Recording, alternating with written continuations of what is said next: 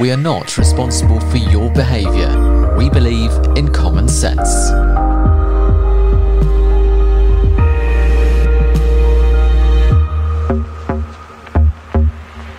No, no, no, no, crisis, no. You're listening to News Talk on Strange But True Radio, episode 4 of 2022, with Philip Jones and Philip Keeler.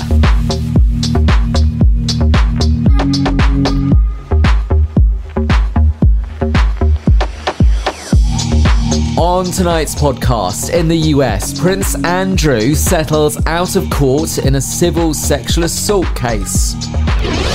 In Britain, there's anger over comedian Jimmy Carr's Roma joke. In the US, the first woman is cured of HIV. And Elon Musk's getting into hot water over allegations of mistreatment of test subjects used in brain chip trials. This is Strange But True Radio for a mixed up generation. In the US, Prince Andrew settles out of court in a civil sexual assault case. There are now calls for clarity over Prince Andrew's role in public life. Duke of York agreed to pay an undisclosed sum as part of the settlement and accepted Virginia Giuffre had suffered as a victim of abuse. He made no admission of liability or guilt and has always denied the allegations. Um, Phil, I'm losing my voice as usual. I, am I, have got over COVID, but I'm, I'm, I've got a bit of a gruff voice this morning, so apologies. Um, do we know how much he's uh, he's paid uh, this Virginia Giuffre?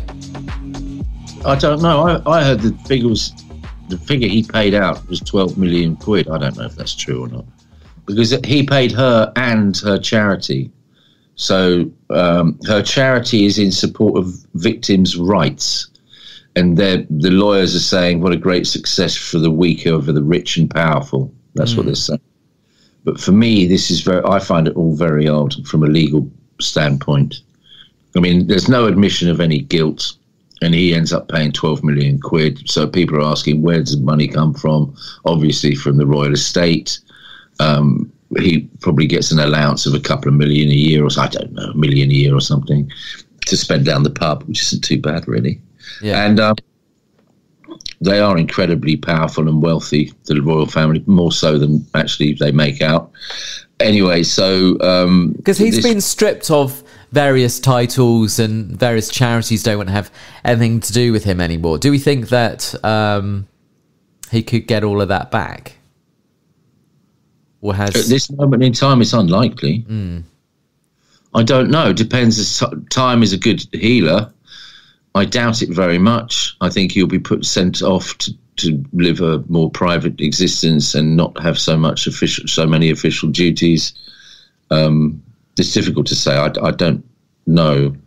It's very difficult. You know, the thing about this is that I find very odd is this woman, Virginia Giuffre, um, was accused him of sexual assault, not in London, New York, and the U.S. Virgin Islands.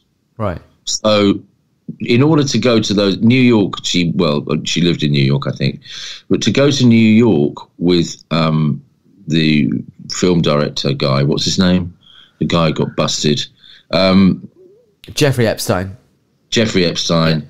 Go there with him in an aircraft to London, New York, uh, London, and the U.S. Virgin Islands mm. willingly in the knowledge. So she goes to the, his his private island in the U.S. Virgin Islands, is sexually assaulted by Prince Andrew, and having been sexually assaulted in New York by Prince Andrew, and then again to go to New York to be sexually assaulted by Prince to go to London, sorry, again uh, to be sexually assaulted by Prince Andrew sounds a bit odd.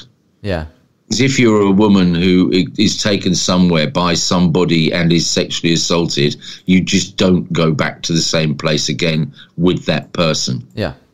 It just doesn't happen. Yeah. And if they're saying that she, she wasn't underage in any of those environments, none of them. Yeah. Because at the time, it was in the law, according to the law, is 16, as far as I know, in all of those situations. And in a private island, it would be, it, you know, what is the law on a private island? It's your your you're independent. I suppose it's U.S. law. But anyway, Yeah. what is she doing going to the same place over and over again to be sexually assaulted? And in the photograph, she doesn't exactly look miserable, does she? No. She's standing next to the bloke who sexually assaulted her with her arm round him. Well, So this some- is a this is an interesting photo that you're talking about because um, I I've listened to various uh, commercial news media with uh, lady uh, a person called Lady Victoria. Now she reckons the the, infamous picture of Prince uh, Andrew Geoffrey and uh, and Miss or Miss Maxine, uh, who's now in um, in, in in prison, um, Yes. Is actually a doctored photo Could of, be. of three photos put together, It could well be. um, and I find that a very sort of interesting part of this story. Uh, there, Yeah. there is a rule of thought that uh, Geoffrey is just out for the money. I Um, think she's. and as you say, something actually we need to say that she denies. Um, but there is it's a very murky story. It would make a good movie actually one day. Uh, not too, not, not not next month. I don't think I could cope with it next month. But it would, would make in twenty years' time when everyone's a bit older. It would be it would be an interesting movie to see see how it all Wasn't, plays out. wasn't, wasn't she paid for a non disclosure settlement? She was. She's been paid. This is, I think, the second amount of money that he's paid her. Well, I didn't. Wasn't she paid by Epstein five hundred thousand dollars or something? Yeah. So, So- this is yet more uh, money that she's Exact- received. Um, so Lloyd's of you know Lloyd's of London. Mm-hmm. Lloyd's of London produce six percent of the gross domestic product of the United Kingdom. They're a powerful institution. They insure things all over the world, and they insure insurance companies. And for that, they are paid handsomely. But you know they're taking massive risks, and they insure insurance companies against losing loads of money. In effect, Yeah. in the United States of America. Now they've been doing this since 90, before 1906, when the Americans got a great deal of faith in the Lloyd's because Lloyd's paid out for the San Francisco earthquake, and they so you know they've always trusted Lloyd's, right? Mm-hmm. So what happened was. Uh, somebody said that Lloyd's were not complying with competition laws, yeah. and the US lawyers got together a class action to say that people were being ripped off because they weren't com- uh, they weren't competing, and it was a, like a monopoly in a sense, and so therefore they could sue them for damages. So the lawyers created a massive law case against Lloyd's of London, knowing that Lloyd's of London have got millions and millions of pounds. And I have discussed this on several occasions with somebody I know, on many occasions, who's involved in this case because his syndicate is one of those being sued. And I, from at the end of the day, through all the discussions I've had with him, I said there is no court case against you, Yeah. none whatsoever. However, because a court case is brought against them by lawyers in the United States, even though there is what is referred to as no cause of action, lawyers are prepared to pay about a hundred million pounds in damages just to get rid of the case because the legal fees will increase and increase up to millions upon millions of dollars. Wow. So, in order to get rid of it, they're prepared to take a hit, even though they haven't done anything wrong, because that's that's like bite the bullet and get rid of it. You know, Yeah. Called damage limitation, and it smacks of this with this Virginia Giuffre, because as I've said, she was of legal age, and she went, she continued to do to hang around with Epstein in the knowledge that she was going to have sexual relationship relations with men because there doesn't seem to be any denial of that, apart from Prince Andrew says he didn't do it, which is fair enough. Maybe he didn't, or maybe he did. I don't know, but there's no proof of that. But she kept kept on going back for the same thing to happen over again, Yeah. which implies most definitely that she was a willing participant. So it seems to me that a lot of this is we have power. We can turn around and humiliate you in public because if they uh, wash Prince Andrew's dirty laundry in public, that will bring shame against the royal family, even if they win. Mm. Because nobody wants their sexual activity to be broadcast on the world stage. No. That's what would happen. So, it, in a sense, it seems to me that, that it's almost definitely Prince Andrew is turning around and saying, "Look, we need to get rid of this because." Yeah. The royal family cannot be dragged through the mud anymore on this story. So we'll pay whatever it takes to get rid of this woman. And that's what they've done. And they're trying to do their best to maintain their international reputation because it's been tarnished so much. And it, and it may well be that the US lawyers are just after money. Yeah, yeah. I mean, I've know I know of. I was involved in a case where in England, where a Spanish lawyer um, created a case where there was no cause of action. I believe there was no cause of action, and I ended up in a court case against him for four about four years, and it was dragged out for four years. Even though I wrote a letter at the beginning saying we will comply with anything, we'll sign any legal documents you require. Yeah ended up in a court case for, I think it was about three and a half years. That's my own personal experience. So lawyers can create a case from nothing just to gain fees. Because they're lawyers and we're all told that law- aren't lawyers great and that you can trust your lawyer, we believe it. But when yeah. you get down to the nitty gritty, you'll find that that's not always the case by any shadow of a doubt. And I think, uh, you know, you mentioned the royal family. Um, this has been hugely damaging for the royal family in in Britain, um, and also before all of that, you had Harry. Uh, upsetting the royal family uh, and those uh, around it. Uh, it. has been a very damaging time yeah, it has. It's been incredibly bad for the reputation of the United of the United Kingdom all round. It's been incredibly bad for the reputation of the royal family. It's terrible for the reputation of Prince Andrew. Um, it's awful for the. It's awful, really, what's happened. Mm. So, you know, it, it, it it's it's um, they do need to get rid of it as quickly as possible, and I think that's what they're trying to do. They don't want Prince Andrew as a member of the royal family standing there and giving evidence in court, being cross-examined by some, let's call them dodgy lawyers in the United States who will ask anything about anything because there's no holds barred in civil litigation uh, or criminal litigation in the United States. It's not the same system it's not.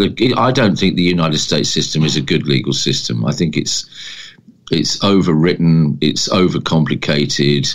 Lawyers can use their position to manipulate situations just so they can make money, as can UK lawyers. Who UK lawyers often do that but it seems to be prevalent in the United States. I'm not saying it is prevalent. I'm just saying it seems to be. Seems to be. All right. Um, coming up next, we're going to be talking about uh, Jimmy Carr's uh, Roma joke on Netflix. Has caused a lot of you to uh, be very angry about about that. This is Strange but True Radio. He's Phil Jones. I'm Phil Keeler. Back after this.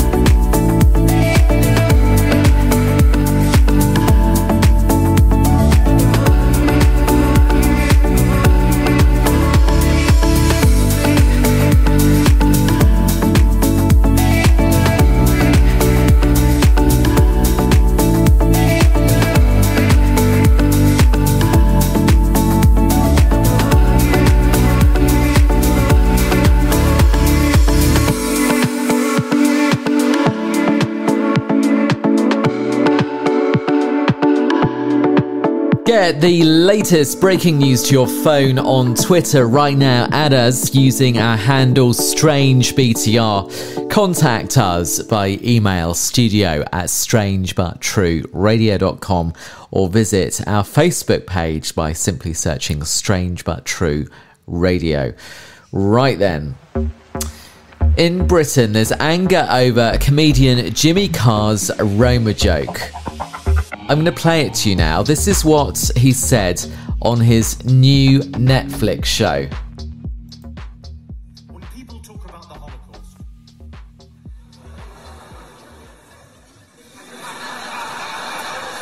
when people talk about the Holocaust, they talk about the tragedy and horror of six million Jewish lives being lost to the Nazi war machine. But they never mention the thousands of gypsies that were killed by the Nazis. No one ever wants to talk about that because no one ever wants to talk about the positives.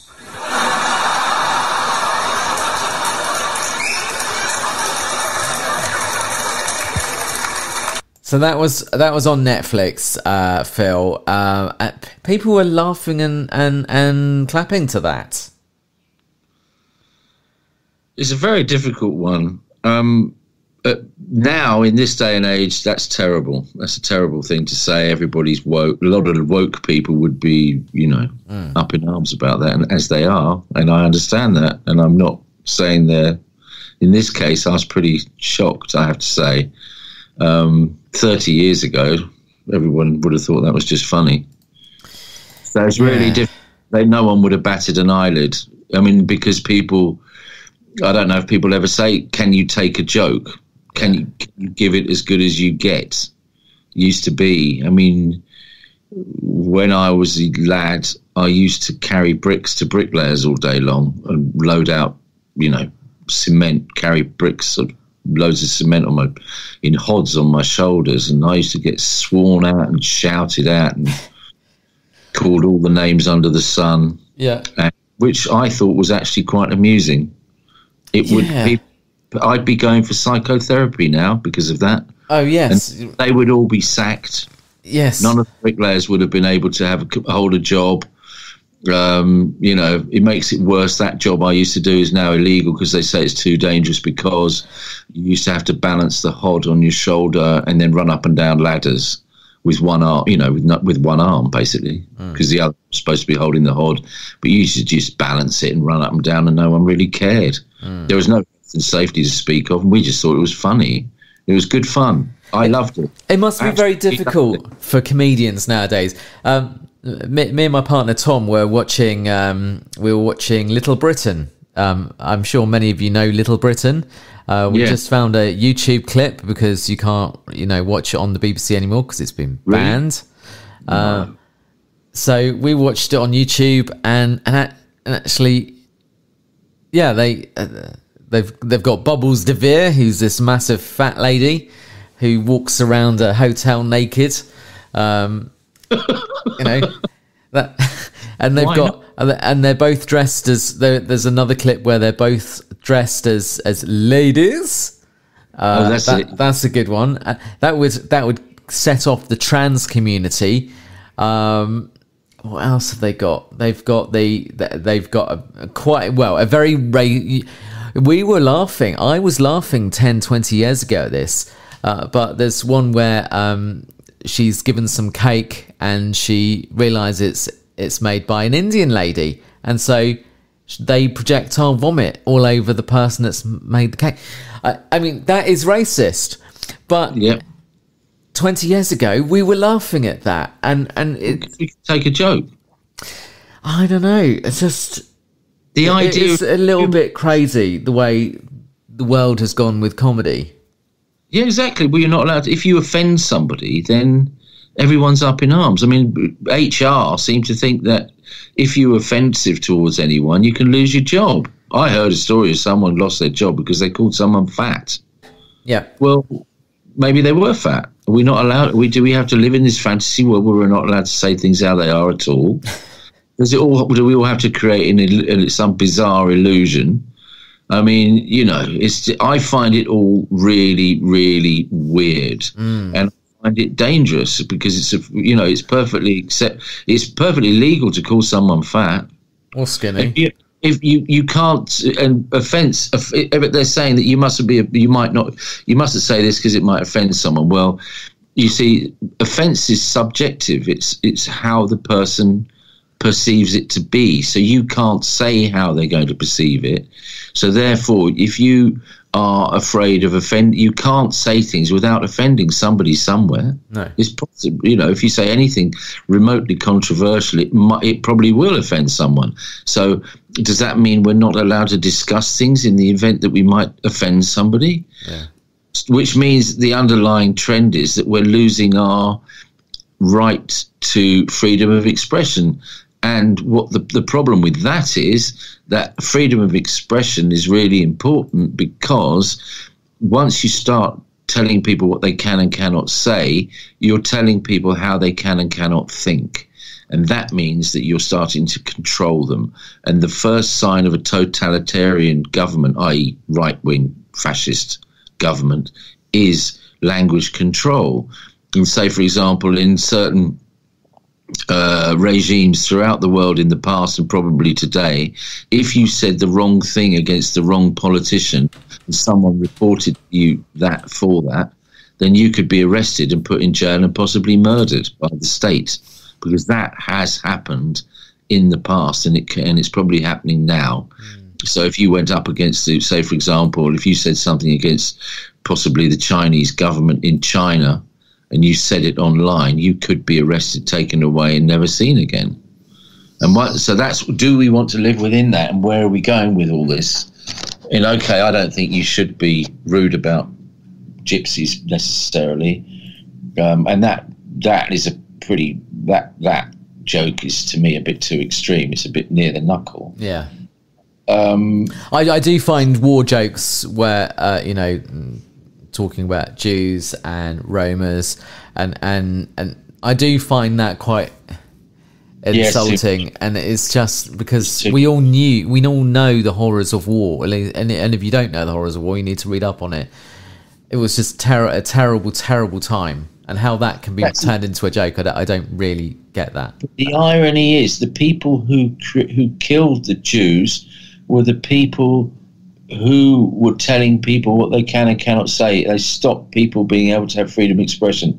They burnt the book. They burnt books that weren't regarded as uh, in line with company po- with party policy. So. You know, in a sense, the, the the woke people, in a sense, this is really important. In, in a sense, the people who are saying you can't say this and you can't say that are defending fascism. They're defending right wing, and so they would be defending a policy which was fundamentally what the Nazis used to control the people. yeah So you want to you want to be woke. You you're if you're woke, in effect, you're defending the Nazis. So there's a, there's a kind of an irony there, and there's no getting away from it. You, we must be able to retain our freedom of expression, and we must be able to offend people. You know, you can't just otherwise everything we can't discuss things. If we don't discuss things, nothing develop, de- develops, nothing changes you know the fact that the BBC weren't talking about the fact that no one was talking about the fact that Jimmy Savile was an, an abuser of children. Oh no, we can't talk about that. It might offend someone. Guess what happened? Mm. You know, how many people were were were lives were, you know, damaged irre- irreparably because of the conduct of someone who could have should have been outed straight away, but just it wasn't the done thing to talk about it. So what are we doing? Are we suppressing this now? See, that's one another consequence of not talking about things. Now, I don't agree with what. Let me say, I do not agree with what Jimmy Carr said in any way, but I defend his right to say it. yeah yeah I mean, I and that's a kind of a dichotomy, there's a dichotomy there. I don't think he should have said it. I don't think it should be said, right? But he should be allowed to say it if he should if he wants to. You know? And if people are offended, they say it's offensive. Yes, okay, they, that can be offensive. But you know, I watch TV programs now where the, the comedy they're not sure what to do with comedy you you there there's uh, a program called cheaters and it's quite uh, upfront about sexual stuff i mean there's they show Yeah. masturbation they show masturbation on it and i think that's disgusting but that's allowable, and no one's offended by it. I, now, it, back in the day, that would have been t- all the time. That everyone said, "Oh, they were very offensive in the '70s." They never would have gone near any of the sexual stuff. Sorry, this is called Cheaters. What is it? A documentary? No, Cheaters is a is a drama Oh, about two people who cheat on each other. It's actually very interesting. oh. I quite enjoy watching it. Apart from the well, apart from the sex bits, I mean, I find them a bit offensive. It's very, old, sitting very old-fashioned, TV that, Phil? Yeah, I am. Yeah, I'm I ancient. Bloody hell. Anyway, um, you know, you know. So you get offended by that, and I, I, I do think, I do, I do, yes, I do. Yeah. I do think that comedy and what people are offended, uh, we've just become too. Apart from you know, I do agree with that. This what he's what uh, uh, Jimmy Carr said was was very very bad, and probably shouldn't have said that. But we have become too sort of uh, sort of immature, really, and offended at nothing most of the time.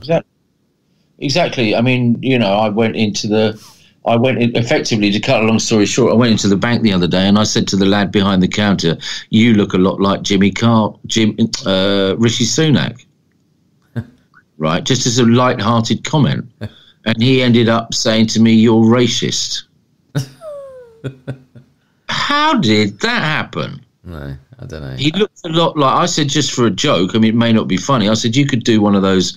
You look so much like Rishi Sunak. You should. You could do one of those looky likey things, and you know, make a bit of spare money on the side, just for like as a light-hearted comment because he looked so much like him. and he said, "You're racist, and I don't like it." And I'm, I said, "There's something wrong with you if you think that's racist." It's just, you know, you may not think that's amusing. I thought it was amusing. Other people might, some people will think it's amusing, other people won't. But, you know, it was just a light-hearted quip. Yeah, And what happened? I get called a racist. That's weird. it is It's weird. Very weird. It's a weird world we're living in. He's Phil Jones. I'm Phil Keeler. Uh, we are on News Talk and Strange But True Radio. Going to talk about the first woman in the US cured of HIV. Next.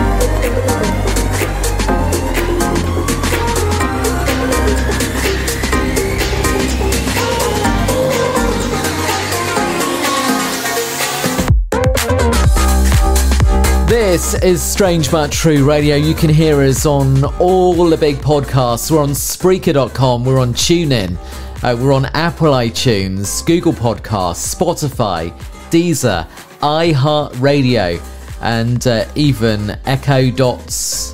I can't say the A word because it will set off my uh, Alexa in the corner of the room and then it'll be listening to us all.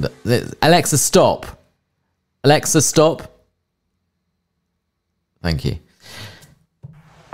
In the US, the first woman is cured of HIV. Scientists have used stem cells to treat her leukemia, uh, but found it also cured her HIV as well. Uh, Phil, this is um, a bit of a, a, scientific breakthrough, some would say.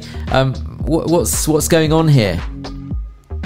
Well, what happens is they remove um, some bone marrow from uh, a, uh, a, woman who is shown to be resistant to leukemia, and they transfer that into another patient in order to um, use that immunity to combat leukemia. And they found a side effect of that was uh, in this case, a woman who was of mixed race who contracted um, HIV in 2013, and then four years later was found to have um, HIV as well.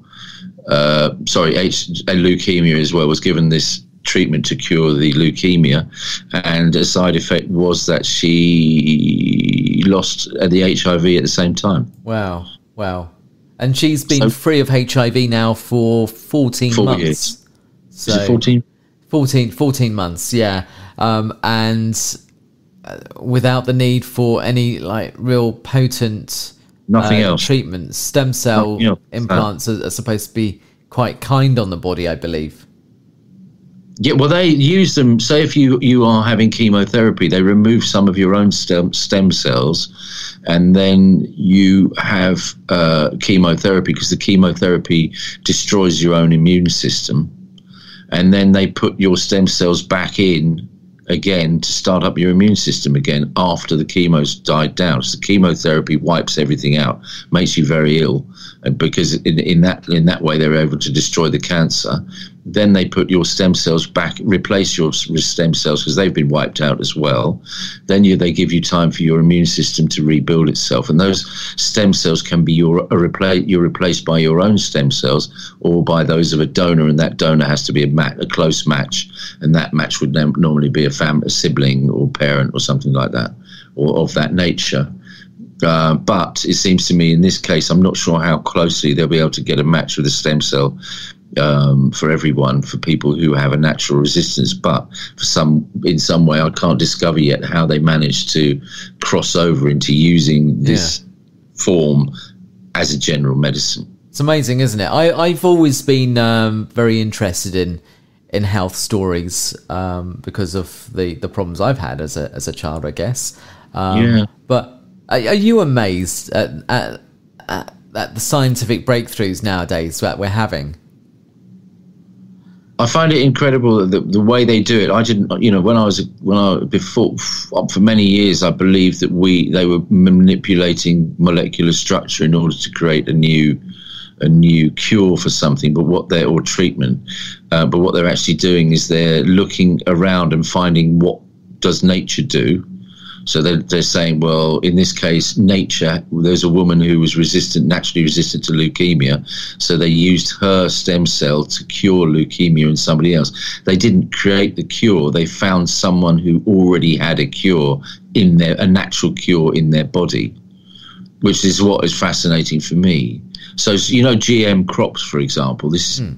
understand where I'm going. GM crops, yeah. Uh, generally speaking, what they do is they get they grow loads of plants and then they throw insecticide all over the plants, and some of the plants won't die because they're just naturally they've got a natural system in the plant, which means that the insecticide the insecticide doesn't damage that plant and then they breed from the plants that survive in the knowledge that they can spray this insecticide which kills everything in the knowledge that if they breed from these plants, they've got a natural immunity to the insecticide. That's the same principle in medicine. So in medicine, that's what they're doing. In this case, they're looking for people who have a natural immunity and then using what they find in those people to cure others, which is interesting. But again, then there's lots of corruption in this as well at the same time. I mean, we can go into that if you want, but I mean, so that's that's what they're doing in this case. So right now, uh, this study is uh, aiming to follow 25 people, I believe, with HIV who undergo a transplant with stem cells uh, taken from umbilical cord blood for the treatment of cancer and other serious conditions. So no doubt they'll have some uh, more information. So it's um, taking place at the University of California, John Hopkins University in Baltimore, apparently. Maybe that's the answer. Maybe the cord blood transplants don't are more easily accepted by the recipient of the treatment. Mm. Because you, if they're not, then you're going to get graft versus host disease, which is where the hosts, uh, the person who receives the treatment, the body rejects the treatment because it doesn't accept it because it's not compatible with their body, and that's a problem. But that may be overcome by use of cord blood transplants in this case. That's maybe what that's what they do. That's amazing. So that's helping to cure HIV for those people who've already been infected. But Yeah. uh, I'm sure I don't know whether listeners know this, but because I'm a gay man, I'm always I've always been um, very read up on HIV because it's something that we all fear. Um, but for those gay, gay and straight. Actually, they say they say. Uh, I was reading a news article the other day that there's more HIV uh, new infections between straight couples than there are gay couples for the first time, which is quite interesting That's shocking. And and also very shocking as well. Um, but you can you can take these HIV blockers nowadays, and uh, I know a few people who've taken uh, these uh, the, the, this this drug. So you take it every day, and you can have um, normal sex, whatever normal is to you, and not contract HIV, which is pretty amazing. well, it'll stop you getting HIV. It will stop you from getting HIV. It's ninety nine percent uh, say um, uh, will stop you from getting it. Basically, in 99% of cases. Wow, that's amazing. I it is. It is. So you've got those pills being being taken by lots of people, and now uh, this this new study that's taking place. That I see a future where there will be no HIV at all. Uh, and it won't be very long until that happens. So uh, it's good news for everybody, really. Hopefully that will happen. But there are other things which are actually I find fascinating. When I go to South America, I find that the people in South America use natural remedies, which is kind of linked to what I was saying earlier. They use nature to cure uh, illness, and they have been doing this for thousands of years, and they know because it's handed down from generation to generation what cures what. I had a gastric in gastric problem cured by a, half a cup of green tea, and it never it didn't come back. So you know when you have when you have a problem uh, with diarrhea when you go overseas often. You know, you have to take all these pills. Well, I took pills. They ran out after three days. And then I was given a cup of green tea by a friend of a friend. And I just perfectly healthy for the rest of the four months Wow. I was in South America, and I went to some really dodgy places, and I didn't have a problem at all, which was brilliant. I had uh, an inf- uh, inflammation on the nerve right the way across my shoulders, which was quite, which was excruciatingly painful after an accident, which was inflamed for over six months. They gave me a, uh, tea. I had three three quarter pint glasses of a tea called Chicha Morada, which is a, na- a natural anti-inflammatory drink, and um, Yeah. that cured it. it. It was next morning it was gone, which is phenomenal, and that had been treated by the NHS for five or six months. I'm not saying the NHS is bad, but it was amazing.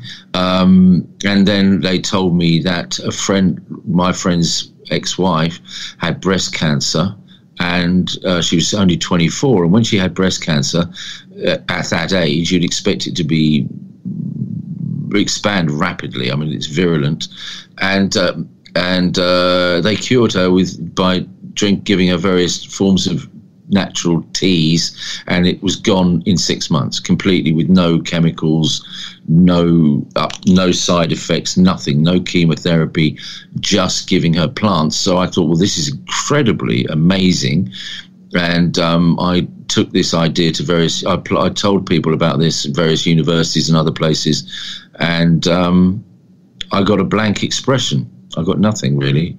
No one was interested, and then from there on in, um, I went around and asked at various places because all the markets have juice bars, and the juice bars will give you health healthy drinks. And I asked all the every time I went to a market, I went and had a drink at a juice bar because they're incredibly healthy. And I'd ask them about cancer, and they all said the same thing. They all said it was the same plant. We're going to be talking about Elon Musk's brain chip trials next. This is Strange But True Ready. He's Phil Jones. I'm Phil Keeler, back right after this.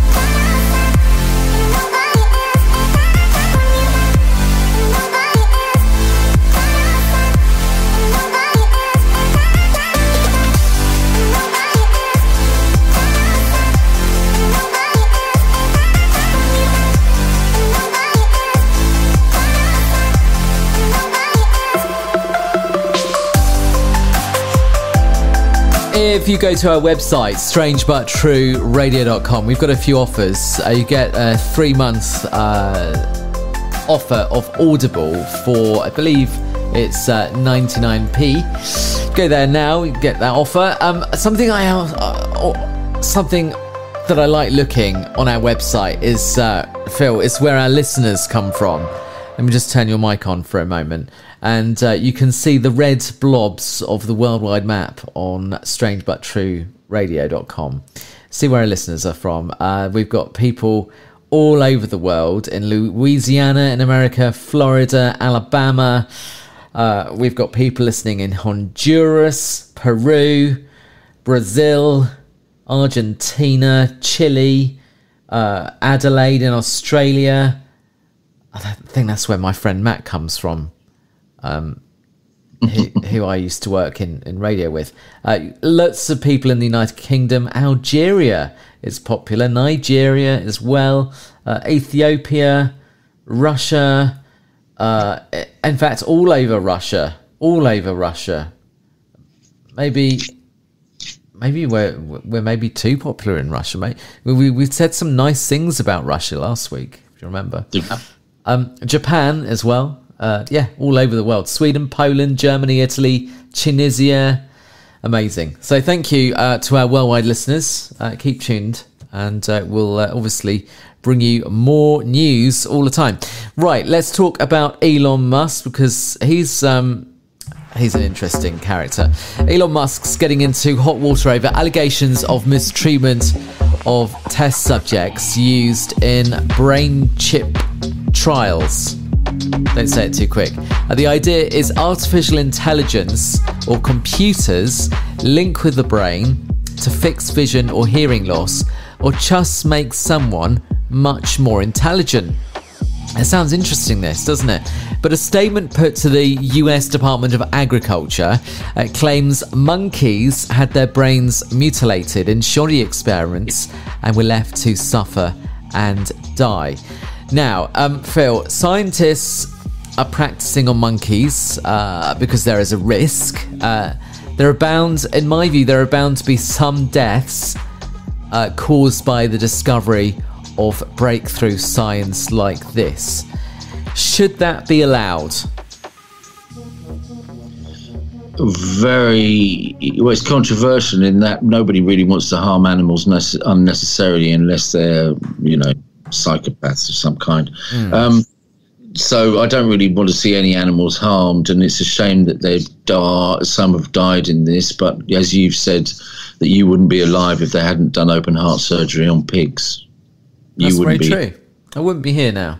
Here because you they were able to repair a hole in your heart yeah. in 1984, was it? Uh, yeah, 1984, 1985. Yeah, it's, yeah. it's it's so. In my mind, it's it's. I don't like I don't like seeing animals suffer, and I, I don't really want animals to to die in science. But unfortunately, we are the the top species, aren't we? Well, we wouldn't. Uh, animals die every day because we eat beef and we eat pork and we eat meat, basically. So, I mean, it goes on. We, you know, we can say we we live in cotton wool existence now, and everybody's afraid of a bit of blood and guts and things like that. But unfortunately, the true the reality of the fact is we all like many people like eating meat, and therefore animals are going to die. So yes, it's very sad that monkeys may die in this research, but how many people's lives are they going to save by doing so? Mm. You know, it's a, it's a it's a sad. You know, you can't make an omelette without breaking any eggs, as they say. Sadly, this is a case where animals are injured in this. However, they did have they Neuralink have recently released a video of a monkey that had been implanted with a chip playing the video game Pong using only its mind. Which that's amazing. It's incredible. Yeah. So Elon Musk's argument is that he thinks that um, people will they'll, they'll be able to um, repair if they can use create brain chips brain chips in a certain way they'll be able to enable people with uh, paralysis to use a smartphone with their mind faster than someone using their thumbs. Clearly if they can get a monkey to play pong if they can do if that's true.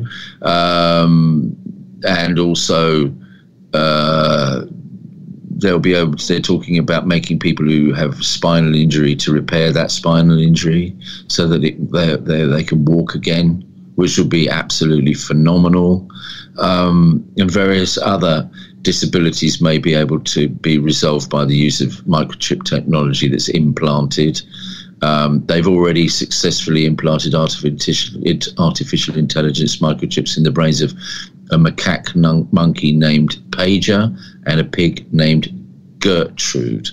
And they're talking about running tests on humans. And so uh, this could be uh, fantastic for humanity. I mean, and for those people who are disabled as a consequence of injury, may be able to uh, have some in the future technology where that, that is no longer a, a problem and they don't they can dispense with their wheelchairs and uh, yeah live a normal life. Well, I don't know whether they're looking into helping dementia sufferers because if you're putting sort of chips in brains, it could help. It could help them, couldn't it? Like as being used as a sort of memory. What you mean, like someone like Boris Johnson, so he can get his facts straight? Is that what you mean? Well, you could you could also use it on our prime minister, who obviously tells yeah, well, the truth all the time. put it put a brain chip in the mind of most of the Tory party in order to, for them to get their facts straight and try and work something out with some semblance of logic instead of fallacious policies, that kind of thing. Is that what you mean? That that could work. I'd like to do that. Well, there is a pro- there is a problem with this. Where mind control could be a problem, and it will be a problem. What you could do with these chips is when they're going to lie, when the Tories are going to lie, it has it brain zaps them. and they and they do like a robotic dance in Parliament. Yeah, that would mean we, Boris Johnson wouldn't be able to talk, would he? I think that would be great. Uh, that's it for this edition of Strange But True Radio. News talk for a mixed up generation with Philip Jones and myself, Philip Keeler, losing my voice again. Uh, join us each and every Saturday evening for a new podcast to download on trending news stories of the week. We're available to download from around 2000 hours British time. Take care of yourselves. See you next week.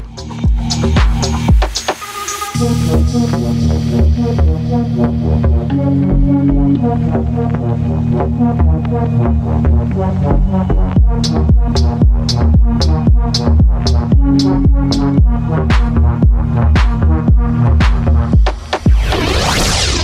are not responsible for your behaviour. We believe in common sense.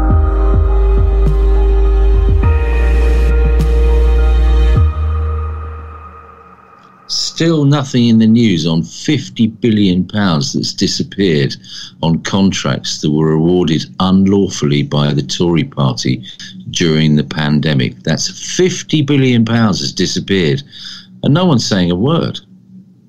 Well, if you want your news, that's strange but true. Look, they're all right, aren't they? Really.